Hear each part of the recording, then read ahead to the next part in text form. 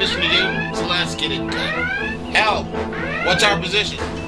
Captain, we've arrived at Sorensen 3, but we've lost the dual processor.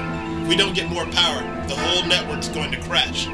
We need to smooth shift now. Mr. Harrison, where's that IK boost?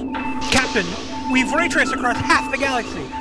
The poly count, it's just too high. The Viper, it's gonna blow! Dynamics, report. SIGGRAPH collision imminent. In T minus 10, 9, 8. Warning, warning, warning, warning, warning, warning.